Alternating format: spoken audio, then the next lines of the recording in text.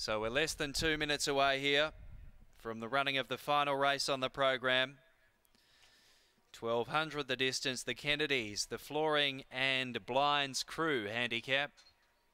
The late scratching of number one, Count Tomozov, means Strato Creed is now co-top weight. Number two was near the tail and always at it when ninth last start, but closing sectionals were quick. Looks a horse who will appreciate further. Number three, Walk and Wall, who sat just off them, went down narrowly after looming, ran second. $6.50 today. Strato Creed is $12. 420 Magna Force, who was three wide on a good speed at Ascot and eventually dropped out running 10th. Trial before that at Esperance was good. Star Align number five, $2.70 the favourite. Just off them. Last start was keen in the run, but went to them quickly and looked progressive when winning. Watto's Fury is 850. Rod Brown and Holly Watson combining again here. Was behind the leader, held up, found the line well, went fifth here last time out. Indian Chant got home really strongly late in that same race. Many of them coming through that form reference. 850, but will be getting back again. Palmer Morenti got home okay last time, $31. Another Demon, $14. A little bit of support there. Only plugged away last time, but is a go forward horse generally. You know what you're going to get. Bar Trader struggled to land a blow last time, but could improve second up. Thanks, Matt. So Walk and Wall about to come forward in similar colours to the stablemate. Star Align, both in effectively all yellow drawn in gates one and two. And Indian Chant is about to come up. Another Fernie representative looking for another success on the afternoon. Winning with a horse a couple of races ago. So they're all set now. Standing well. Attendant just rushing in with one out wide.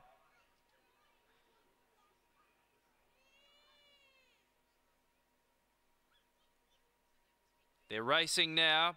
Watto's Fury had a spring-heeled start is going to lead from Magnaforce. It quickly gathers momentum though and Magnaforce charges through and is now in front of Watto's Fury.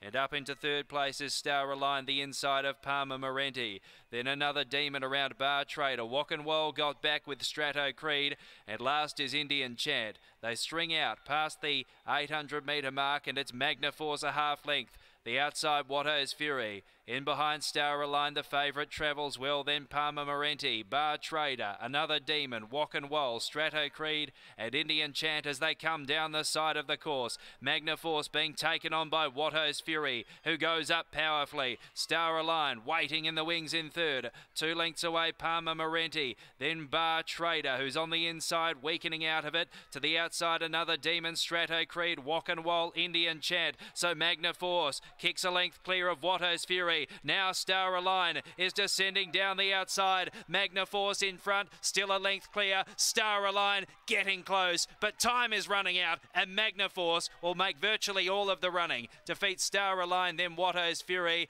and fourth Strato Creed, then Palmer Morenti, another Demon, Walk and Wall, Indian Chanted Bar Trader. Number four, the winner, Magnaforce. Bounces right back to form here after working like a train last start. Had a much easier run out in front today. Driven out by Lisa Staples has been too good for them. Magnaforce, who went off at 440 on the fixed. Second up today. That trial at Esperance was really encouraging. A dashing display down there.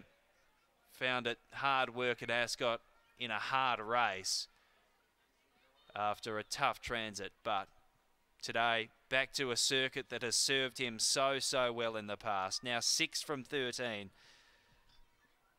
He has won again here, and it's win number eight at start 24. Such a prolific and consistent earner for Trevor Tasker and C. Marino. The Magnus Our Wee Paris gelding.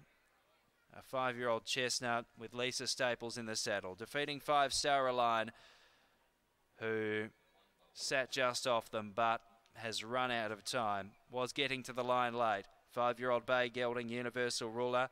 Lee Norney, D. Martin, A. Ingles, P. Jackson, B. Armstrong, G. Bowden, L. Chapman and M. Armstrong, Peter Fernie, Michelle Hagley. Then six Watto's Fury, six-year-old Brown Gelding, So Secret, Liberty Isle, N. Watmore, Seawood and D. Grammaticus, Rod Brown, Holly Watson. Then number two, Strato Creed, who was also getting home well from the back.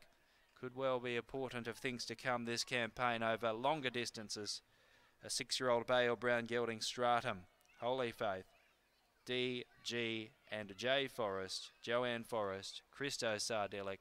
It's four, five, six, and two in the last. One by one and a half, one ten thirty the time. Winner Magnaforce returns four dollars one eighty. Punters Club blast out in the last. Over number five, Star Align one twenty. Two dollars twenty. Watto's reward.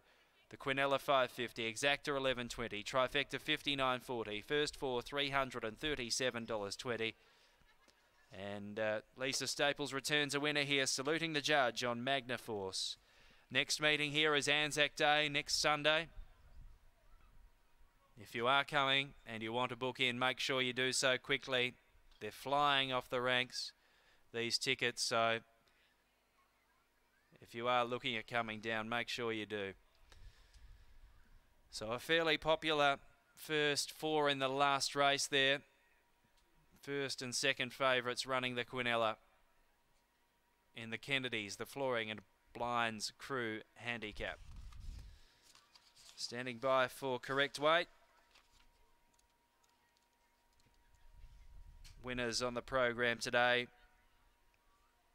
Watto's Reward took out the first for Rod Brown, Holly Watson. Race number two went to St Clements, Jeff Eels, Simone Altieri. Race three. Taken out by Protected Action. Ashley Grace, Holly Watson registered a double there early on. Race number four went the way of Kentucky Love for Patrick Birmingham and Christo Sardelic. Then the fifth was taken out by Neat Action, Peter Fernie, Michelle Hagley.